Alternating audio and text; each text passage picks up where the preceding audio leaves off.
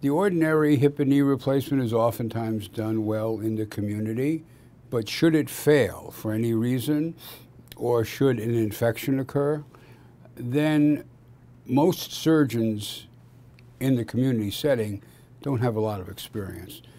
Uh, these patients oftentimes have been operated on multiple times. They come to us with severe bone loss problems. They come to us with severe infections. Uh, and it is, it is necessary in terms of the research side, because these problems are so complicated, to study the problems and then develop the best treatment plans for them. So we felt it was important to create a center that would care for these more complex problems.